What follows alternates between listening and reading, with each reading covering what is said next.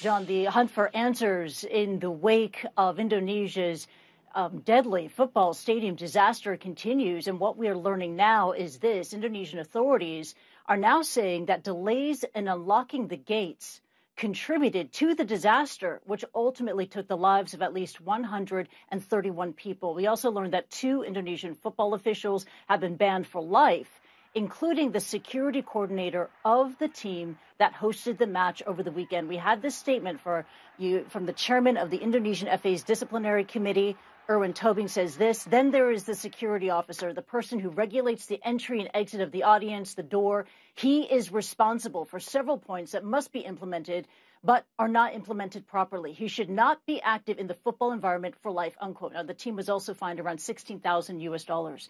Uh, over the weekend, all out violence and chaos erupted at this Indonesian League football match that took place in the province of East Java. The match which took place between two very fierce rivals, ended in a stampede, which became one of the world's deadliest stadium disasters. The incident has triggered an outpouring of outrage and grief across Indonesia and around the world, including this.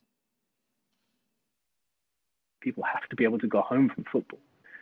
And then, secondly, you know, the police's reaction to it.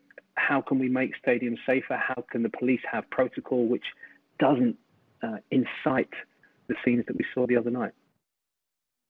Indonesian authorities have pledged to investigate the locked gates as well as the use of tear gas. Now, tear gas as a crowd control mechanism is prohibited by FIFA, the world's football governing body. And yet, eyewitnesses, people who were there, were stating that it was in use and they have many questions about its use, including a spectator, a survivor, and an individual who lost his wife and two daughters to the stadium disaster. We have his testimony to share for you. And this is what Andy Yorianto shared with CNN. Again, he lost his wife and two daughters to the stadium disaster. He says this, quote, I still don't understand.